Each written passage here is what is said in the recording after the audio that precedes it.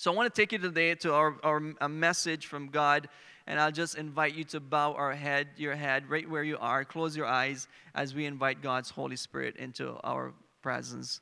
Father, we thank you because you're so good. You're good, Lord. You're amazing. You're loving. You're kind. Lord, thank you for our families. Thank you, Lord, for the blessings of family.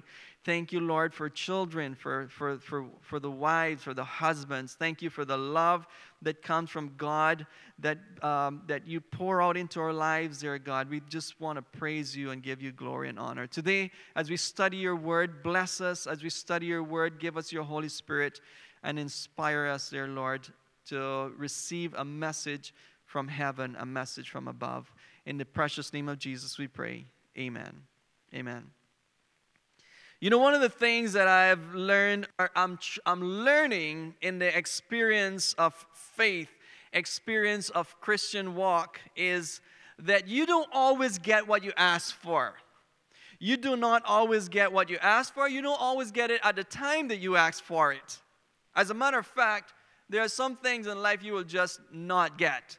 But you have to be happy with it. You have to be contented. You know, um, the Apostle Paul speaks in the word. It says he says because of the revelation that has been given unto me he says there was a there was there's a thorn in my flesh that is is just killing me. He says it's like an angel from from from hell he says that comes to buffet me. And he says i pray to god three times that he may deliver me from this from this punishment from this pain he says. But god only said to him my servant paul my grace is sufficient to you. In other words, Paul prayed that God would deliver him from this, from this uh, thorn in his flesh, but it was not done. God just said, I'm going to give you grace. I'll give you grace to endure the pain. I'll give you grace to endure the, the difficulty. I'll, I'll give you grace to, to be able to overcome the whatever you're going through. But this is going to be for your blessing. This is going to be for your good. This is going to build you up. So, my dear friend, there are things that we pray for that we may not necessarily get when we pray for them. We may have to wait for some of those, but what God is really doing is He is building your faith. He is giving you strength, He is giving you His grace to endure whatever circumstance you are going into. There are times in our lives when we prayed for something for many, many years. I could still remember my parents praying. And they had this one prayer they prayed for as long as I could remember until they both went to be, well, they both passed away. Sorry about that. But they prayed and they prayed and they prayed. But I can tell you something, my friend. I know that their prayers has been answered. I know that God has answered their prayers in a way that even though they didn't see it here on earth, someday in heaven, they will praise God for their answered prayers. Today in the book of Luke, I want to take you to a, a, a parable that Jesus gave about praying, about waiting, about what we can expect when we pray. In the book of Luke, chapter 18, and verse 1, it begins by saying, Then he spoke a parable to them that men always ought to pray and not lose heart. I want to just take you here a minute and, and, and try to understand what Jesus is saying to us. He says, He spoke a parable to them to give them an illustration, to help them to understand that we should always pray and never lose heart. In other words, just hold on to what you're asking. If you're praying for something, don't let go. When he says not lose heart, it means don't let go. Don't don't don't slacken up on what you're praying. Just keep holding on. Just keep asking.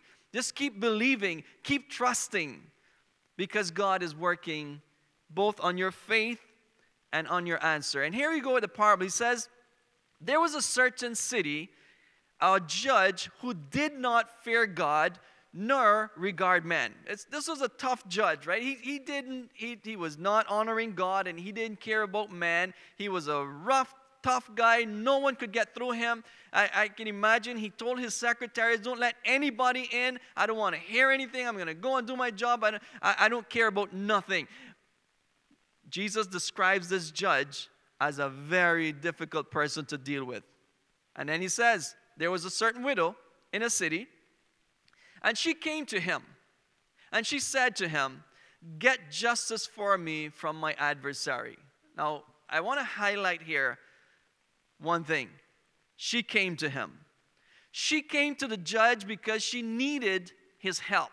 She came to the judge because of her own need, her necessity brought him to the judge.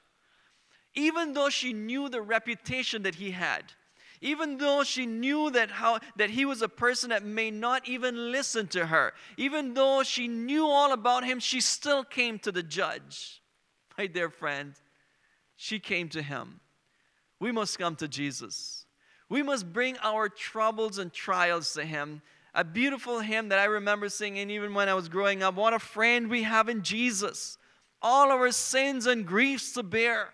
What a privilege to carry everything to God in prayer. Oh, what peace we often forfeit. Oh, what needless pain we bear. All because we do not carry everything to God in prayer. This widow came to this judge in spite of knowing that she may not be heard. But she came to him. She said, Give, please, have mercy on me. I need your help. The Bible says, and he would not for a while. In other words, he ignored her. And he kept ignoring her. And he ignored her. She went one day, she went the following day, she went the following day, and the following day, a week passed, a month passed, and who knows, maybe a year passed. But this woman continued going to the judge because she needed his help. She knew that if she cons- consistently went to him and asked him and, and, and continued presenting her case to him, something was going to happen. But it says he would not for a while.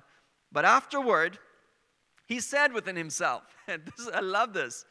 He said within himself, Though I do not fear God nor regard man, Yet, because this widow troubles me, I will avenge her, lest by her continual coming she weary me. She kept on pleading to the judge. And one day he said, You know what? I'm seriously getting tired of this woman coming to me. I am sick of seeing this woman every single day. Even though I have never had a communication with her, my secretaries are tired of telling her, Go home, he's not going to listen to you. But there's something about this woman that called my attention. There's something about her, and it's her persistence. There's something about her that's just annoying me, and I'm going to get rid of her by giving her what she's asking for. you, know, you know, my dear friends, it's not an easy task when you have to keep going and re- repeating your same prayers over and over and over again. I don't know about you, but Sometimes when you're praying, you feel like, yeah, I prayed about this enough. If God wants to answer me, He'll answer me. And that's when we give up. That is when we stop asking. But the Bible says, ask and you shall receive. He doesn't say ask once, he says keep asking. It's a continual verb. It just says ask and ask again and ask again and just keep asking because God is working on your faith. He is building you up. It's not just about receiving, it is about building up your faith in trusting in Him. You see, when you go to Jesus, and when you tell him your problems, and when you tell him your sorrows, and when you tell him the things that make you happy, and when you present your requests to him, you are coming into a closer connection with him. You are coming into a closer communion with him. And when we come into a close communion with him, we enter into a, into a place of of peace. We enter into a zone of peace. And our faith is built and it continues to be built. So, my friend, don't stop seeking God. Don't stop presenting to Him your prayer requests. Then the Lord said, Hear what the unjust judge said. Verse 7 And shall God not avenge His own elect who cry out day and night to Him? though he bears long with them. And then it says, I tell you that he will avenge them speedily. And then he asks a question Nevertheless, will the Son of Man come? When the Son of Man come, will he really find faith on earth? And here it is. This is why I'm telling you. It's all about faith. It's not necessarily about asking and receiving. The asking and receiving is only for the building of our faith. But then he ends this illustration by saying, When the Son of Man comes, when Jesus comes, will he find faith? So, whatever is happening in your life right now, if you feel ignored, if you feel that God is not answering your prayer, remember that the greatest goal that God has for your life is not to just give you what you're asking for, is not just to solve your problems, but to build your faith in Him, for you to grow spiritually, for you to be a better Christian, a better person. You see, if God gave us everything that we asked for, we would be spoiled. We live in a society right now that we want everything right at the fingertips. You see, Technology has brought us to a point where everything is instant. Even, you know, the, the, the, the, stuff that we eat, we want the food to be cooked right away. We want it to be done right away. If you go into a drive through and you, you, there's a long line, you probably choose to go to another drive through or not to go at all because you don't want to spend those extra moments. You see, life right now is, is everything is instant, everything in this hurry, but God has a different timing. God's timing is different. He's not rushed by your urgency. He's not rushed by your by, by because you you think you want it now. Think about your children. Think about your children. If you're a parent or when remember when you were small, you come to your parents and you say, "Hey, I want a car right now." You say, "Wait a minute, I'm going to give it to you for Christmas." No, I want it now. I want it right now. You, you just say, no, it's going to be for Christmas because you don't want to spoil them, right? You want to, you want to give them, you want them to learn to be patient. God is working on our character, my friend. And if you have not received that which you're asking for, remember that God is working on your Christian experience. I want to take you to a story in the book of Genesis of one of the um, very important characters that covers a long uh, portion, a great portion of the book of Genesis. His name was Jacob.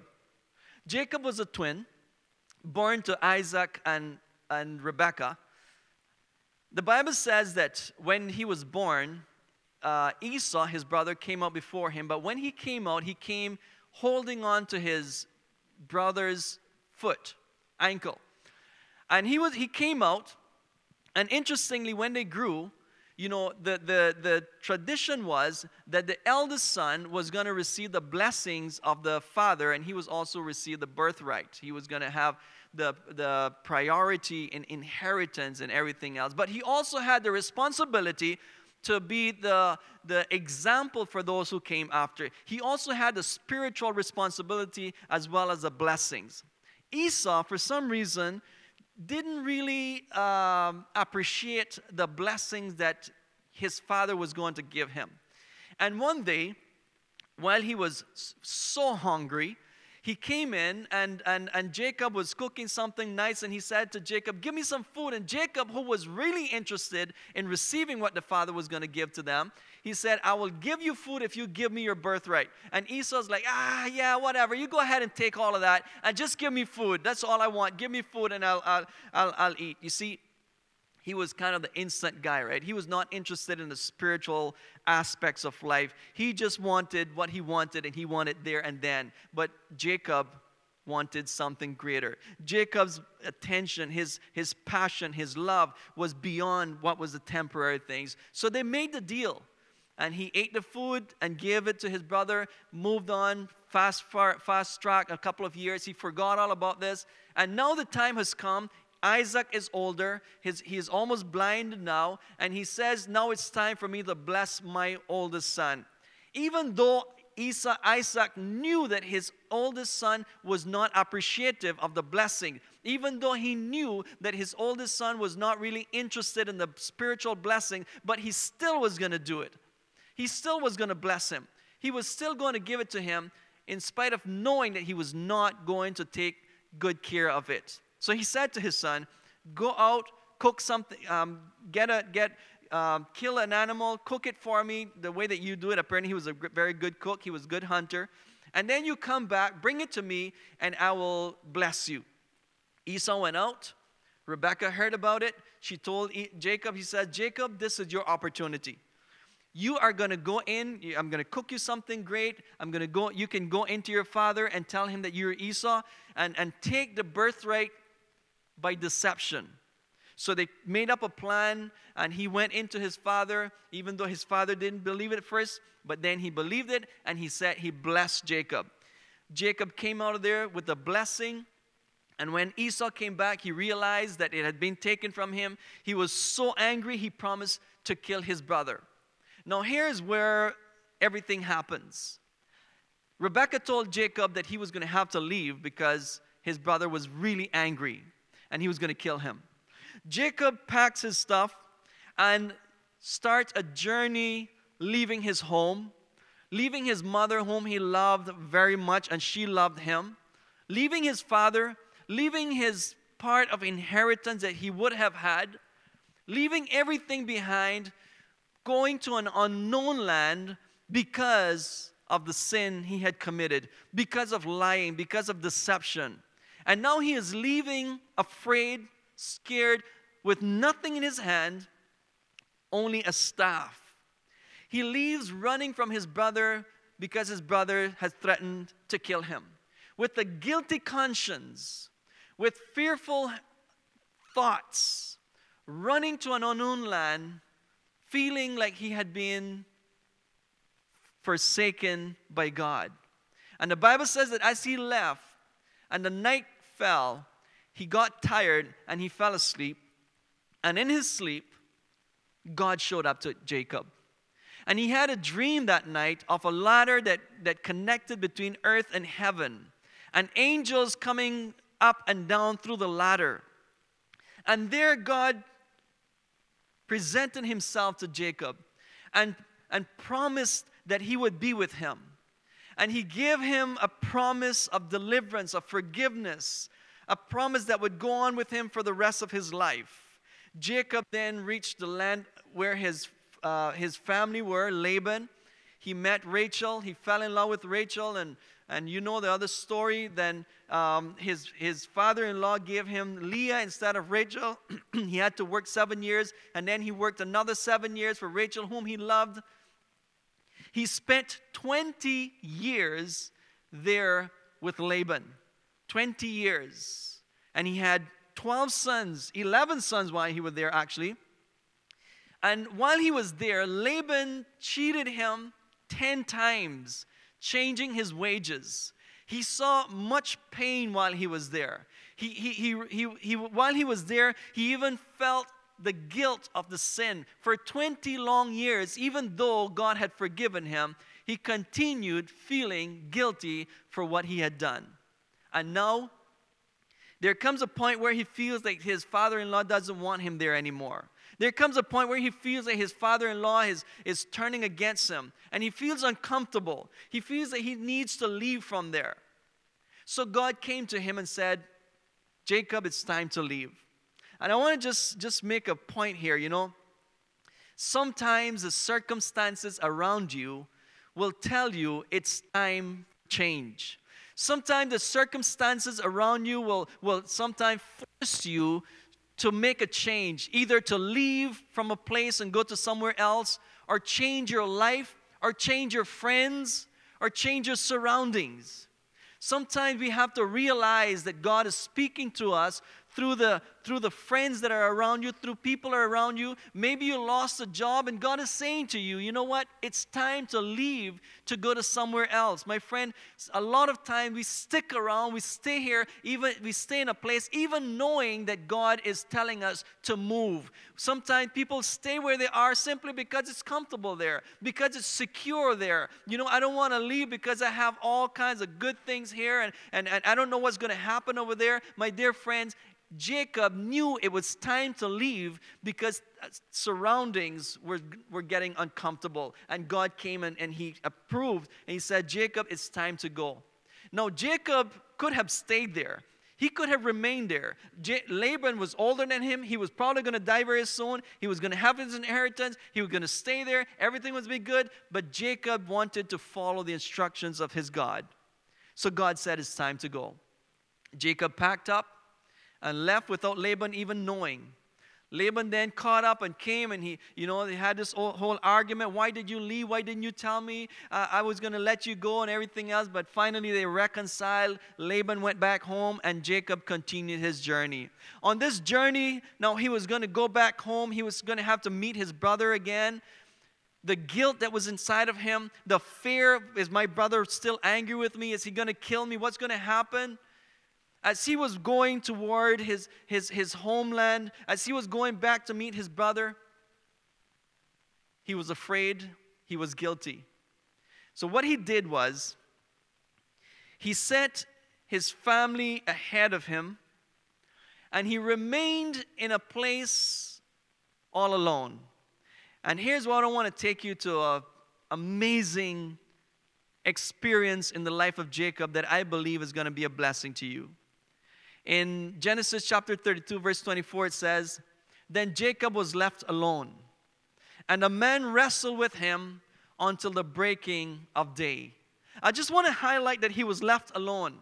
And when he was left alone, a man started wrestling with him. See, he stayed alone that night because he wanted to talk to God. He wanted to, to, to, to just take out all of this guilt and pain that he was feeling, the fear, that he had of meeting his brother once again. So he wanted to spend that night in prayer. I want you to know, though, he had been forgiven by God, but he still remained scared and guilty for the sin he had committed. He was left alone that night, and a man wrestled with him. And he wrestled from midnight until the sun was coming up. Now, when he saw that he did not prevail against him, it says that the man touched the socket of his hip, and the socket of Jacob's hip was out of joint as he wrestled with him. Now, this must have been a painful experience, my friend. Think about it. He is all alone. In his mind, he is fighting against an enemy. He probably thought that maybe this is one of my brother's soldiers as well. So he was putting everything out there. He's fighting for his life. He is trying to, to survive fighting against an unknown person. But something happened. The Bible says that this man with, the, with, the, with his fingers touched his hip, and his hip became out of place. What a pain. Think about it.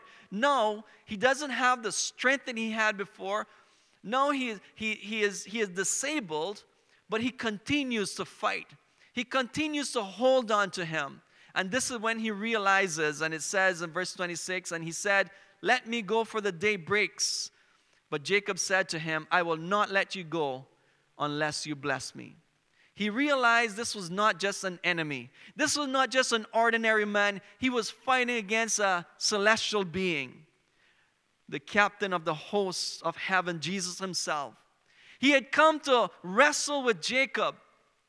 And there was one thing that was laying on his mind. It wasn't necessarily the physical pain, but the spiritual pain. Am I forgiven?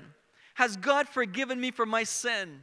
And that night, God came to him to deliver him spiritually. Even though it caused him much pain, he was now he now felt free from guilt. He now felt that God had blessed him and he says, God, I'm not going to let you go until you bless me. I, I, I want what you have. Please bless me. I'm not going to let go. And it says, So he said to him, What is your name? And he said, Jacob, which means liar, supplanter, deceiver. And it says in verse 28, Your name shall no longer be called Jacob, but it shall be called Israel. Why? For you have wrestled with God and with men and have prevailed. That night, my friend, Jacob received a special blessing from God. That morning, after wrestling, after holding on, after being perseverant, he received a blessing that he had been looking for for many, many years. And he says, And you shall seek me, Jeremiah, and find me when you shall search me with all your heart. I want to tell you today, my friend, even though God has promised you to never leave you, to never forsake you. Even though God has promised to forgive you, it is our part to hold on to God until we receive His blessing. So many times we go to God in prayer and we just run and kneel down and get up and we're gone. We, we don't wait to receive that blessing. We open the Bible, we, we read anything that comes up there, we do not receive God's blessing. We must be like, like, like Jacob and say to him, Lord, I'm going to stay here until I receive your blessing. I'm going to stay on my knees until you bless me, until my heart melts, until the tears come from my eyes. I'm not going to get up from here until I receive, until I enter into your presence. I can tell you sometime, my friend, you, you kneel in prayer and your mind is goes everywhere. You're thinking about your job you're thinking about your children you're thinking about uh, your problems and, and, and there's no concentration in prayer. My advice to you is stay there. My advice to you is don't get up from there. A lot of times you're praying and, and something tells you you know you're, you're, god is not even listening to you. Your prayers aren't going as high as the ceiling Sometimes you're praying there and you feel it, you're wasting your time. I can tell you, my friend, when you go to God in prayer or study His Word, the enemy is right there trying to tell you you're wasting time. He is right there trying to distract you. He's right there trying to keep you away from going into the presence of God so that you do not prevail with Him. But it is then that we need to stay there. It is then that we need to stay on our knees. It is then that we need to stay in the Word until God is able to work through our, our, mind, the cloudness of our mind, and come into our heart and subdue our heart, and we can finally feel that we are in the presence of God. Many times you go to God in prayer. And as you kneel down, as you sit down, as you lie down, as you're praying, whatever, whatever circumstance it is, you do not enter immediately into, into his throne but you have to go through so many things just like just like in the time of jesus. You know when the woman came to jesus she had a she had a problem for 12 years. She had been sick. She had to go through the crowd and, and they would not allow her to until she finally without giving up she went and she touched the hem of his garment because she did not give up. My friend jesus is there waiting for us the Bible says, You will seek me and you will find me, but you must search with all your heart. You see, it is His Holy Spirit who is calling you. The Bible says He knocks at the door and He wants to come in. He wants to come in, but He also is waiting for us to want Him to come in. The Bible says, Blessed are those who hunger and thirst after righteousness, for they shall be fed. You must hunger and thirst. You must desire the presence of God. He will not just come in superficially, He wants you to have a deep hunger. The Bible says, Like a deer panteth for the rivers of water, so my soul pants for you, dear God. The Bible says, My soul thirst for you in a dry and thirsty land where there's no water. I want you. I desire you. I need you. I want you in my life. That shall be our prayer every single morning. And stay there until God blesses us. Hold on to Him until He blesses. You know, we get, we get accustomed of living life without the Holy Spirit, of living life without God's presence, of living life without His blessings. But it's enough. We need to go in the presence of God and hold on until He blesses. Whatever you're praying for as well, my friend, whatever you're seeking from Him, don't let go. I've read a quotation some time ago that says, We let go too soon of the arm of God. Don't let go. Jesus gave that illustration, that parable of the evil judge, not that God doesn't want to hear you, and not that he gets tired of you coming to him. God never gets tired of you coming to him. He is always with his arms open wide, waiting for you. He is always, the Bible says, his ears are attentive to our cry. David says, I waited patiently on the Lord, and he inclined his ears to me, and he heard my cry. He brought me up out of the miry clay, out of the horrible pit. He put my feet on a rock. He established my footsteps, and he put a new song in my mouth. He praises to the Lord. In other words, God wants you to come to Him, but He is building your faith. He is increasing your faith. He is building your character. He wants you to know Him better. He wants you to know Him as who He really is. He wants you to have a special connection with Him. My dear friend, don't give up. Don't let go. If you're a person that has been a Christian for, for a long time, but you feel empty, you feel like God has abandoned you, you feel like He has forsaken you, God has a special word for you today as well, my friend. He says, But Zion said, God has forsaken me. And He says, Can a woman forget her baby who is still feeding from the breast? He says, even she may forget her child, but I will never forget you. I have you inscribed in the palm of my hand. Your walls are always before me. God says, A mother may forget her child, but I will never forget you. When we come to Him, He hears us. He says, Seek me and find me. I'm there. You can find me. I can forgive your sins. I can cleanse you. I can change your circumstances. I can bless you. I can answer your prayer, but you must not give up. You must not stop coming to Jesus. Continue that journey, and you will find rest. You will find blessing, my friend. Jesus is waiting for you. Jesus is with his arms open wide, saying, Come unto me, all you who labor and are heavy laden, and I will give you rest. God wants to give you rest. Never give up. Jesus has you in the palm of his hand. I want to pray for you. I want to pray for those who are discouraged at this time. I want to pray for someone who has stopped praying because you have felt like God doesn't answer your prayers. I want to pray for someone who has been praying, but, but you have lost faith in Jesus. You have lost faith in prayer. You have been praying for healing and there has been no healing. You have been praying for a son or a daughter and there has been no answer. Instead, it's getting worse. You've been praying for your husband and things are getting worse. You've been praying for your wife and it's just been getting worse. I want to pray for you, my friend, because I believe that we serve a God that is mighty and powerful. I believe that we serve a God that is right there listening, answering, and He wants to build you up. Don't give up. Don't give up. Don't stop praying. Don't stop seeking. Don't stop asking. God is working in your life.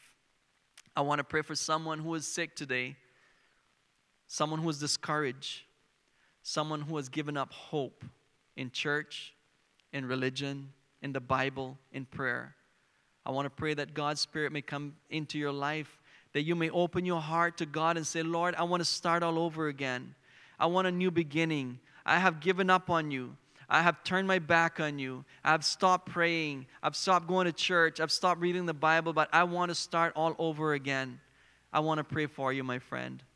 You know, in the in the coming coming weeks, we are going to have some amazing baptisms here. In, in June, Ju, in the end of June, we have a baptism. In July 11th, we have an amazing young person who has decided to give their life to Jesus. And I want to tell you, dear friend, that if you have felt the Holy Spirit, if you have felt, felt God speaking to your heart, accept Him. Open the door. Jesus says, I'm standing at the door and I'm knocking. If you open the door, I'm going to come in. I will come in and we're going to have a feast together. Let me pray for you. Father in heaven, today, Lord, as Jesus gave us an illustration to don't give up on prayer, to don't stop asking, as we've been reminded of Jacob, Lord, how he told the angel, he said, I will not let you go until you bless me. Today, oh God, I'm praying for maybe someone has stopped believing in you. Maybe someone has stopped praying because nothing works. They prayed and prayed and there has been no answer, Lord. Someone is praying, someone, Lord, has given up on church. Church has no solutions, church has no answer. Church is just another place with all kinds of defects. Maybe someone is, has given up on themselves. Maybe someone has given up on, on, on, on, on Jesus. Dear God, today I want to pray a special blessing upon them. I pray that your Holy Spirit may reach out there, God, that you may send an angel and bring them out of their prison. That you may send your angel, dear God, and, and relieve them, release them from the chains of bondage, of lack of faith, of doubt, of unbelief, of fear, of guilt. Lord, may your power be released on your people today, O oh God. I pray for each one who is watching this, this service today. There's someone, Lord, who has lost hope. There's someone who has dropped into a pit of anxiety and fear and guilt, I pray, there, God, that they may look up, look to you, and receive deliverance from you, dear God. As David said, he waited patiently for you, and you delivered him. You brought him up, you cleaned him up, you put his feet on a rock. I pray that that be a blessing and an answer to someone here today. Thank you, Father. Thank you, Lord. In Jesus' powerful name we pray. Amen. Amen.